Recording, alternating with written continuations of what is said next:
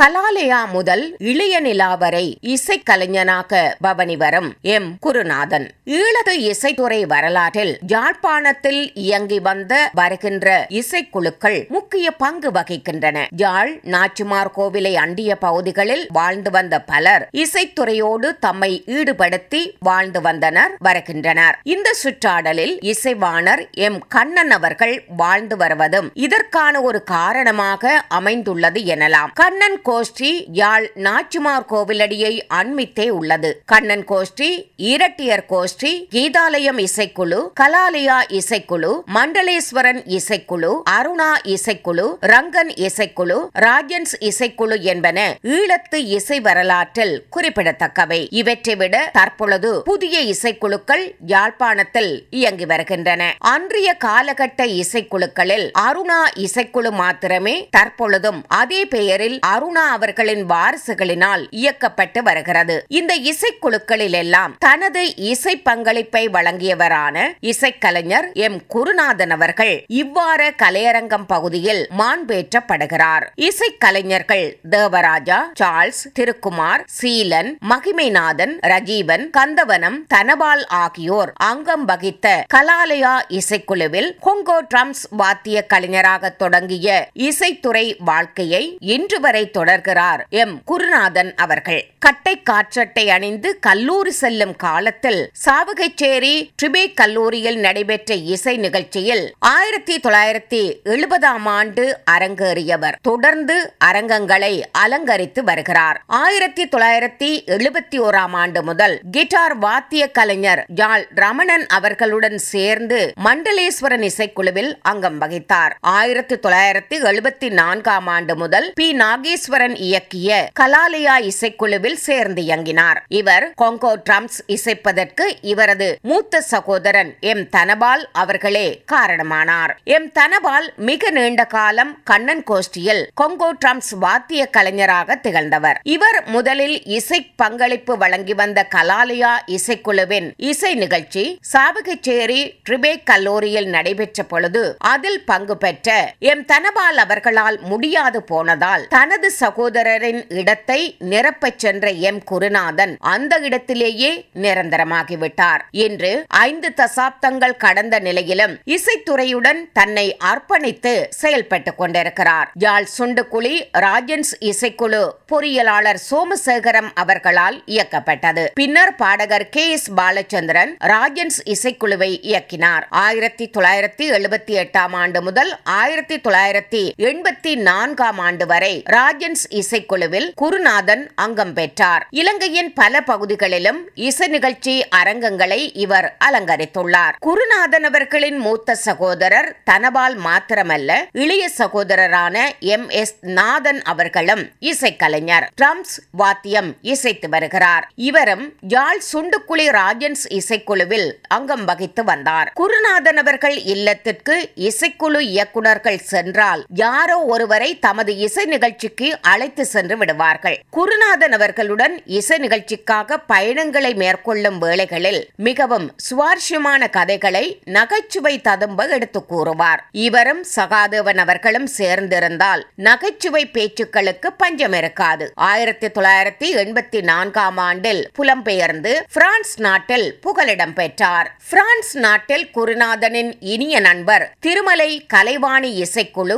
இயக்குனர் S K punch அவர்களுடன் தொடர்பை ஏற்படுத்திக் கொண்டார். ஆயிரத்தி தொள்ளாயிரத்தி எண்பத்தி நான்காம் ஆண்டு அக்டோபரில் பொப்பிசை சக்கரவர்த்தி ஏ. இ. மனோகரன் அவர்கள் பாரிஸ் நகருக்கு வருகை தந்திருந்தார். அவ்வேளை ஒரு இசை நிகழ்ச்சி பாரிஸ் ரீபப்ளிக் பகுதியில் ஏற்பாடாகியது. அந்த நிகழ்ச்சிக்கு எஸ். கே. பஞ்சவர்கள் இசை வழங்க வருகை தந்திருந்தார். தாயகத்தில் இசைத்துறையில் ஒன்றாக பயணித்த எஸ். கே. பஞ்ச் நடா Jeyadevan S. K. Rajan M. Gurunathan M S Nathan ஆகியோர் சந்தித்ததில் ஹைட்ரோன் இசைக்குழு உருவானது. இதுவே பாரிஸில் ஈழத்தமிழர்கள் மத்தியில் தொடங்கப்பட்ட முதலாவது இசைக்குழு. ஹைட்ரோன் இசைக்குழு பாரிஸிலும் ஏனைய ஐரோப்பிய நாடுகளிலும் பல நிகழ்ச்சிகளை நடத்தியிருந்தது. அந்த நிகழ்ச்சிகளிலெல்லாம் குருநாதன் தனது இசை பங்களிப்பை வழங்கி வந்தார். பாரிஸில் இலங்கை கலையகம் நடத்திய கலையமுதம் நிகழ்ச்சிகளில் ஹாய்ட்ரோன் இசைக்குழுவுடன் குருநாதன் பங்கு பெற்றிருந்தார்.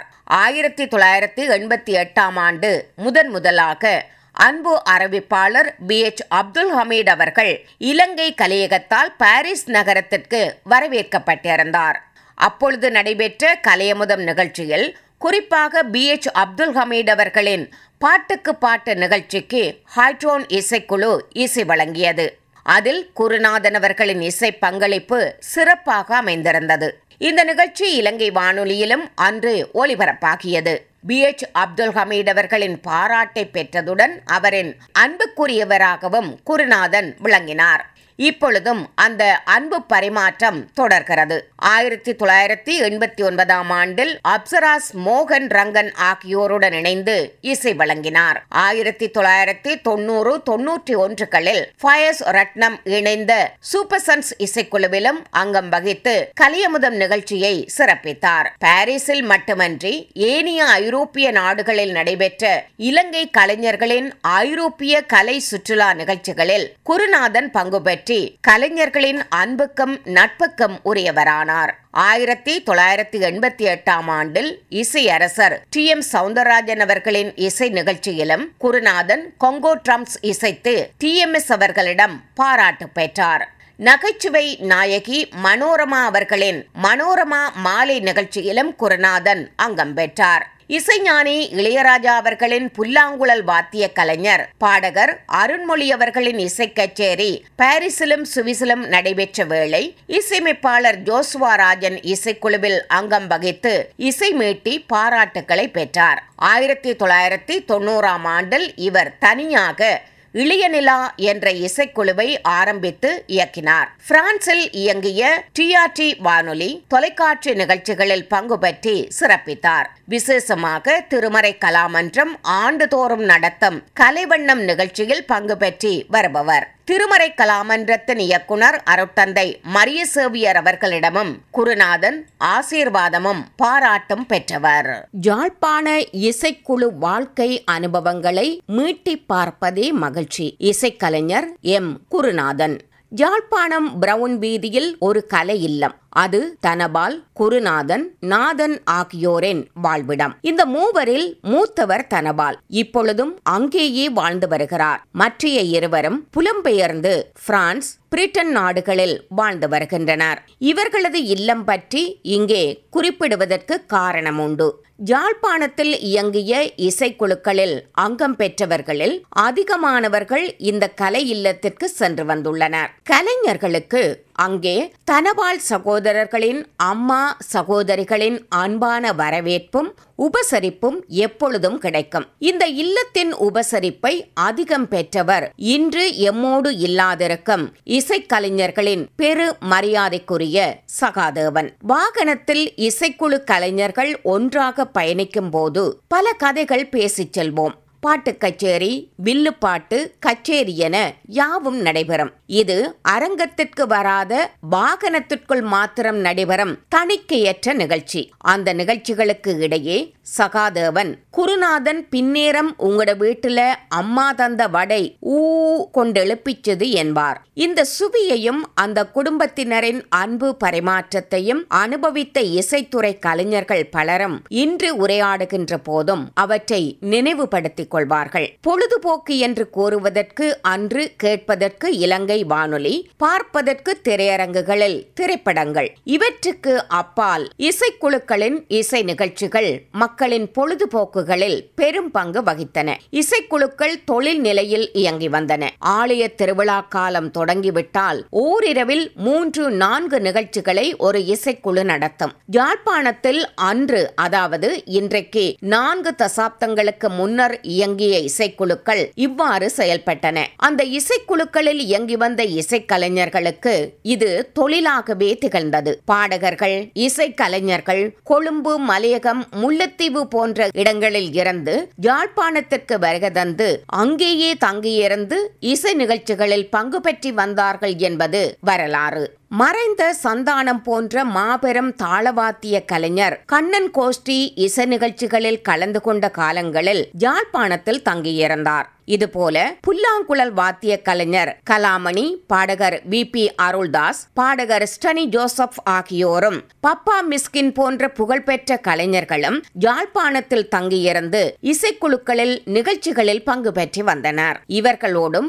இசைக்கலைஞர் முத்தையா குருநாதன் இசை பணியாற்றியிருந்தார் குருநாதனின் மூத்த சகோதரர் முத்தையா தனபால் ஜாழ் மாநகராட்சி மன்றத்தில் பணியாற்றி வந்தார். அதே பகுதியில் கண்ணன் கோஷ்டி பாடகர் தனி சிவானந்தனும் பணியாற்றினார். நாட்டுக்கூத்து கலைஞர் கிரகரி தங்கராஜா யாழ் மாநகராட்சி மன்றத்தில் பணியாற்றினார். இந்த வரிசையில் இசைக்கலைஞர் முத்தையா குருநாதனும் இணைந்து கொண்டார். இரவில் இசைக்குழு நிகழ்ச்சி பகலில் யாழ் மாநகராட்சி மன்றத்தில் பணி. பணி முடிந்ததும் நேராக வீட்டுக்கு செல்வதா? இல்லையே. அப்பொழுது யாழ் நவீன சந்தை யாவரும் சந்திக்கும் ஒரு மையமாக திகழ்ந்தது. அங்கே ஈரோ எலக்ட்ரானிக் ஸ்தாபனத்தில் பாடகர் கே எஸ் பால பாலச்சந்திரன் கடமையாற்றி வந்தார். பாடகர் ஆண்டன் டேவிட் நியூ செலக்ஷன் ஸ்தாபனத்தில் பணியாற்றி வந்தார். விக்டர் அண்ட் சன்ஸ் விளம்பர ஒலிபரப்பு சேவை இயங்கி வந்தது.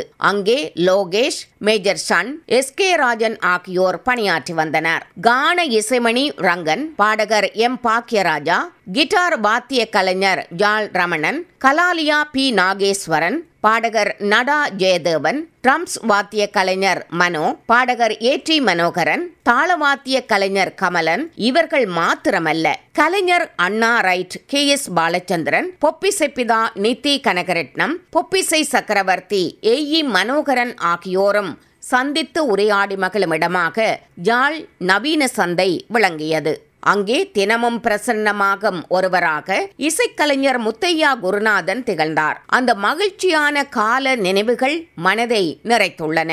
யாழ் மண்ணில் போர் மேகங்கள் சூழ்ந்து கொண்ட காலகட்டத்திலும் எமது இசை பயணங்கள் நிகழ்ந்தன. தாக்குதல்கள் ஒரு பக்கத்தில் நிகழும். இசை நிகழ்ச்சி இன்னொரு பக்கத்தில் நடைபெறும். பயணத்தின் போது வழியில் இராணுவத்தினரிடம் அகப்பட்டால் அவர்கள் வாத்தியங்களை வாசித்து காட்டும் வரை சோதனைகளை நடத்துவார்கள். ஆனால் ராஜன்ஸ் இசைக்குழுவிற்கு ஓர் மந்திரக்கோல் இறந்தது. அது அப்பொழுது பலாலி இராணுவ முகாமில் பணியாற்றிய கேப்டன் டீன் அவர்களின் பெயர். அவர் பெயரை சொல்லியே ராஜன்ஸ் இசைக்குழு இராணுவத்தினரின் சோதனைகளிலிருந்து தப்பியது. இந்த டீனும் இல்லையென்றால் நாங்கள் வீடுகளுக்கு போன மாதிரித்தான் என்று குருநாதன் கூறுவார். தற்பொழுது லண்டனில் வாழ்ந்து வரும் குருநாதன் இன்றைய இசைக்குழுக்களின் நிலை தொடர்பாகவும் இசைக்கலைஞர்களின் நிலை பற்றியும் மிகவும் கவலை கொண்டுள்ளார். உயிரோட்டமாக இசைக்கருவிகளை மீட்டி வந்த காலம் மறைந்து வருகிறது. எல்லாமே இப்பொழுது ட்ரக் கரோக்கி ஆகிவிட்டது. இந்த இசை வடிவங்களை உருவாக்கும் இசையமைப்பாளர்கள் அதிக அளவில் உயிரோட்டமாக அதாவது அந்தந்த வாத்திய கருவிகளை மீட்டும் இசைக்கலைஞர்களை வைத்தே பதிவு செய்கிறார்கள். ஆனால் அவற்றை பிரதி செய்து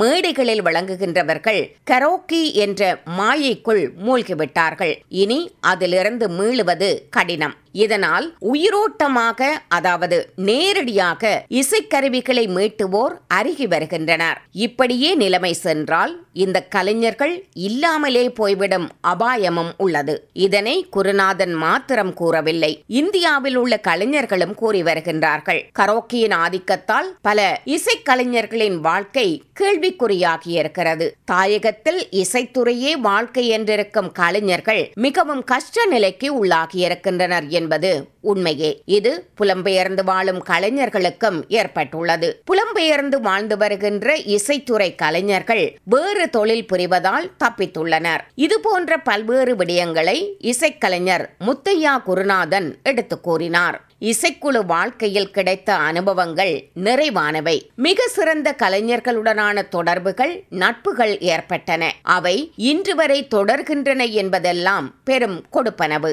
ஜெர்மனியிலிருந்து கே எஸ் பாலச்சந்திரன் டென்மார்க்கில் இருந்து எம் பாக்கியராஜா கனடாவில் இருந்து கமலன் நடா ஜெயதேவன் லண்டனில் இருந்து எஸ் கே ராஜன் பாடகி கங்கா ஆகியோர் அடிக்கடி தொலைபேசி வழியாக உரையாடும் போது பழைய நினைவுகளுக்குள் சென்று திரும்பி மகிழ்வுடன் இருப்பதாக கூறுகிறார் முத்தையா குருநாதன். யா